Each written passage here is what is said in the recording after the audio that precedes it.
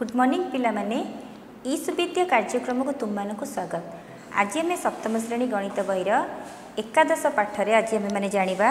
ମୁଦ୍ରା toss କ୍ଷେତ୍ରରେ ସମ୍ଭାବନା ପିଲାମାନେ ପୂର୍ବ ଶ୍ରେଣୀରେ ଆମେମାନେ ସମ୍ଭାବନା ଶବ୍ଦଟି ଆମେ ଚିହ୍ନିବା ପାଇଁ ତା ବିଷୟରେ ପରିଚିତ ହେବା ପାଇଁ ଆମେ ଦୈନନ୍ଦିନ ଜୀବନର ବିଭିନ୍ନ ପରିସ୍ଥିତିକୁ ଆଲୋଚନା କରିଥିଲେ ସେ ବିଭିନ୍ନ ପରିସ୍ଥିତିରେ ଯେତେବେଳେ ଆମେ ଆଲୋଚନା କରିଥିଲେ ଆମେ ଅଧିକା କମ୍ ଏହିସବୁ ଶବ୍ଦ ଆମେ ସମ୍ଭାବନା ଶବ୍ଦରେ ପ୍ରୟୋଗ କରିଥିଲେ ଯେପରି ପିଲାମାନେ ବର୍ଷା ହେବାର ଅଧିକା ସମ୍ଭାବନା ଅଛି ଯେହେତୁ କଳା ବାଦଲଟି ଆମର ଦେଖିକି ଆମେ ତାକୁ କହୁଥିଲେ ବର୍ଷା ହେବାର ଅଧିକା ସମ୍ଭାବନା ଅଛି ପିଲାଟି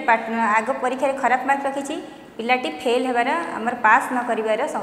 ପାସ୍ କରିବା ପାଇଁ ଯଥେଷ୍ଟ ମୋର ସନ୍ଦେହ ହେଉଛି ଏହିସବୁ ଯେଉଁ ସମ୍ଭାବନାର ଶବ୍ଦର ପ୍ରୟୋଗ ହେଉଥିଲା ଅଧିକା କମ୍ ଏହିସବୁ ଶବ୍ଦର ପ୍ରୟୋଗ କରାଯାଉଥିଲା ଏଇ ସମ୍ଭାବନା ଶବ୍ଦଟିର ଆମର ନିର୍ଦ୍ଧି ପରିମାଣ ଆମର ନିର୍ଦ୍ଦିଷ୍ଟ ନୁହେଁ ତା'ର ପରିମାଣ ନିର୍ଦ୍ଦିଷ୍ଟ ହେଉନି ସେଥିପାଇଁ ଏ ସମ୍ଭାବନା ସମ୍ଭାବନାର ପରିମାଣକୁ ସଂଖ୍ୟାରେ ଆମେ ପ୍ରକାଶ କରିପାରିଲେ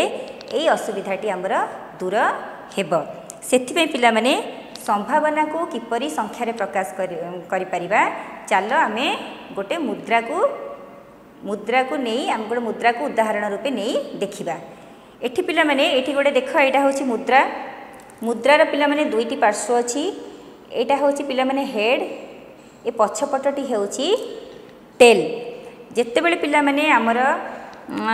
ଯେତେବେଳେ ଆମର କ୍ରିକେଟ୍ ଖେଳ ହୁଏ କି କୌଣସି ଆମର ମ୍ୟାଚ୍ ହୁଏ ସେତେବେଳେ ଆମର ଥିଲା ଟସ୍ ମୁଦ୍ରା ଟସ୍ ଆମର ଯେତେବେଳେ କ୍ଷେତ୍ର ପକା ହୁଏ ମୁଦ୍ରାଟିକୁ ପିଲାମାନେ କିପରି ପକା ହୁଏ ଦେଖ ଏହିପରି ଭାବରେ ଆମେ ପକାଇବା ଏହିପରି ଭାବରେ ପିଲାମାନେ ବୁଲେଇକି ପକାଇଲେ ଆମେ କେତେବେଳେ ହେଡ଼୍ ପାଇବା କେତେବେଳେ ଟେଲ୍ ପାଇବା କାରଣ ମୁଦ୍ରାର ଦୁଇଟି ପାର୍ଶ୍ୱ ଅଛି ସେ ହେଡ଼୍ ପଡ଼ିପାରେ କିମ୍ବା ଟେଲ୍ ପଡ଼ିପାରେ ତା ବ୍ୟତୀତ ଅନ୍ୟ କୌଣସି ଅପସନ୍ ନାହିଁ ସେ ଅନ୍ୟ କିଛି ତା'ର ଫଳାଫଳ ଆସିବ ନାହିଁ ବର୍ତ୍ତମାନ ଚାଲ ପିଲାମାନେ ଆମେ ଏଇ ମୁଦ୍ରାଟିକୁ ଆମର ଚଉଦ ଥର ଆମେ ପକାଇବା ପକାଇକି କ'ଣ ଫଳାଫଳ ଅଛି ଆମେ ଗୋଟେ ସାରଣୀ ପ୍ରସ୍ତୁତ କରିବା ଚଉଦ ଥର ପକାଇବା ପିଲାମାନେ ଚଉଦ ଥର ମୁଦ୍ରାକୁ ପକାଇବା ମୁଦ୍ରାକୁ ପକାଇ ଟସ୍ର କ'ଣ ଫଳାଫଳ ହୋଇଛି ଦେଖିବା ଟସ୍ର କ'ଣ ଫଳାଫଳ ହୋଇଛି ତାକୁ ଲେଖିବା ସାରଣୀ ତିଆରି କରିବା ପିଲାମାନେ ଦେଖ ଟସ୍ର କ୍ରମିକ ସଂଖ୍ୟା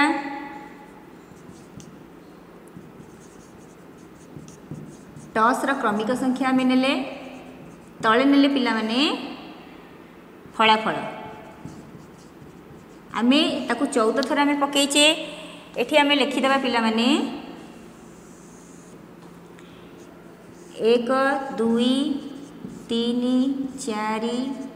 पच छत आठ नौ दस एगार बार ତେର ଚଉଦ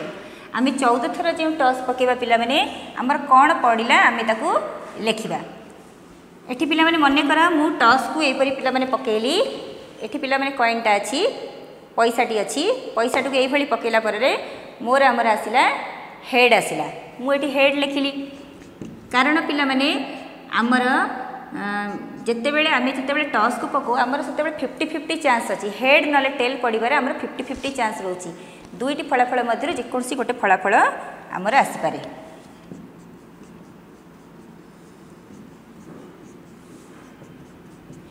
ଏଠି ଦେଖ ପିଲାମାନେ ମୁଁ ଯେଉଁ ଟସ୍ର କ୍ରମିକ ସଂଖ୍ୟା ପ୍ରଥମଟି ପକାଇଲି ମୋର ହେଡ଼୍ ଆସିଲା ଦ୍ୱିତୀୟଟି ପକାଇଲି ମୋର ଟେଲ୍ ଆସିଲା ଏହିପରି ପିଲାମାନେ ତୁମେମାନେ ପକାଇକି ଦେଖିବ ମୁଁ ତାକୁ ସେପରି ଭାବରେ ଲେଖିଦେଇଛି ତୃତୀୟ ଥର ପକାଇଲେ ମୋର ଟେଲ୍ ଆସିଲା ଚତୁର୍ଥ ଥର ପକାଇଲି ଟେଲ୍ ଆସିଲା ଏହିପରି ଭାବରେ ପିଲାମାନେ ଆମର ସାରଣୀ ପ୍ରସ୍ତୁତ ହୋଇଗଲା ପିଲାମାନେ ଯେତେବେଳେ ତୁମେ ସାରଣୀକୁ ଲକ୍ଷ୍ୟ କର ଦେଖିବ ଆମର ଏଇ ଯେଉଁ ସଂରଚନା ଯେଉଁ ଆମର ଅଛି ଆମର ଯେଉଁ ଫଳାଫଳ ଗୁଡ଼ିକ ଅଛି ତା'ର କିଛି ନିର୍ଦ୍ଦିଷ୍ଟ କ୍ରମ ରହୁଛି କି ଆମର ସେଇ ସଂରଚନାର ନିର୍ଦ୍ଦିଷ୍ଟ ସଂରଚନା ନାହିଁ ଲେଖିବା ଏଠାରେ କୌଣସି ଏଠାରେ ଫଳାଫଳର କୌଣସି ନିର୍ଦ୍ଦିଷ୍ଟ ସଂରଚନା ନାହିଁ ପିଲାମାନେ ଆମେ କହିପାରିବାନି ଯେ ହେଡ଼୍ ପରେ ଟେଲ୍ ଆସିବ ଟେଲ୍ ପଡ଼ିଛି ମାନେ ତା'ପରେ ଗୋଟେ ହେଡ଼୍ ଆସିବ ଏହିପରି ଭାବରେ ହୁଏ ନାହିଁ ଯେତେବେଳେ ଯାହା ବି ପଡ଼ିପାରେ ଆମର ନିର୍ଦ୍ଦିଷ୍ଟ ସଂରଚନା ନାହିଁ ଅର୍ଥାତ୍ ପିଲାମାନେ ଆମର ଦୁଇଟି ଫଳାଫଳ ଆସିପାରେ ଆମେ ଯେତେବେଳେ ମୁଦ୍ରା ଟସ୍ ପକାଇବା ଦୁଇଟି କେବଳ ତା'ର ଫଳାଫଳ ଆସିପାରେ ଦୁଇଟି କେବଳ ଫଳାଫଳ ମଧ୍ୟରୁ ଗୋଟିଏ ଫଳାଫଳ ଆସିବ ଗୋଟିଏ ଆସିବେ ଗୋଟିଏ ଆସିପାରେ ସେଥିପାଇଁ ପିଲାମାନେ ଆମେ କହିବା ଏଠି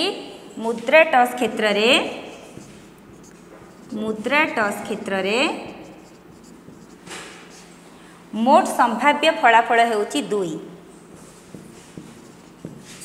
ମୋଟ ସମ୍ଭାବ୍ୟ ଫଳାଫଳ ହେଉଛି ଦୁଇ ଏଠି ପିଲାମାନେ ଦେଖ ଆମେ ଯେଉଁ ପରିସ୍ଥିତି ସବୁ ଆଲୋଚନା କରିଥିଲେ ଆମର ଏଠି ସମ୍ଭାବନା କ୍ଷେତ୍ରକୁ ଆମେ ମାପି ପାରୁନଥିଲେ କୌଣସି ସଂଖ୍ୟାରେ ପ୍ରକାଶ କରିପାରୁନଥିଲେ କିନ୍ତୁ ଆମେ ଯେତେବେଳେ ଟସ୍ ପକାଇଲେ ଗୋଟେ ଆମେ ମୁଦ୍ରାର ସାହାଯ୍ୟ ନେଲେ ଟସ୍ ପକାଇବା ଫଳରେ ତା'ର ସମ୍ଭାବନା କ୍ଷେତ୍ର ଯେଉଁ ପ୍ରୟୋଗ କରାଯାଉଛି କେବଳ ଦୁଇଟି ହିଁ ତା'ର ଫଳାଫଳ ଆସିପାରିବ ହେଡ୍ ନହେଲେ ଟେଲ୍ ସେଥିପାଇଁ ଆମେ କହିପାରିବା ମୁଦ୍ରା ଟସ୍ କ୍ଷେତ୍ରରେ ମୋଟ ସମ୍ଭାବ୍ୟ ଫଳାଫଳ ହେଉଛି ଦୁଇ ତାକୁ ଆମେ ସଂଖ୍ୟାରେ ଆମେ ପ୍ରକାଶ କରିପାରିଲେ ତାହେଲେ ପିଲାମାନେ ବୁଝିପାରିଲ संभावना वर्ड टाकू आम आम कौ प्रकाश कले आम संख्यार प्रकाश कले मुद्रा टस नहीं आम तुम्हें मैंने मुद्रा टस नहीं तुम मैंने जापार अच्छा पिला मैंने आज क्लास को ये रखा नेक्स्ट अध्याय पुणी देखा धन्यवाद